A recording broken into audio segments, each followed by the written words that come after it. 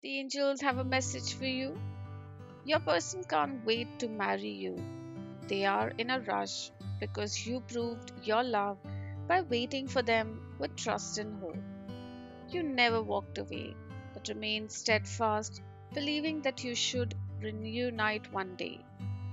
And this has made them fall deeply in love with you. Your patience is bringing you great rewards, and your love is worth the wait. Your person was feeling hopeless and drained, but your positivity brought them hope, and now they are eager to return to you. The angels remind you that patience and unshakable trust are essential in relationships. Your faith in the Almighty's plan is leading you to an unbreakable bond, as your person admires your warm love, and kindness. You're both coming together for an everlasting relationship